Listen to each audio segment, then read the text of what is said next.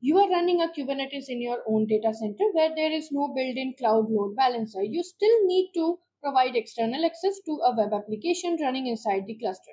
What approach will you take to expose it to the outside world and what service configuration would you choose? First, we will create a deployment named web deployment with two replicas, each listening on port 80. Every pod is labeled as app web, which will later be used by the service selector to connect traffic from outside to the correct pods. Next, since on-premise clusters don't have a cloud load balancer, we will use a node port service named web service to expose the app externally.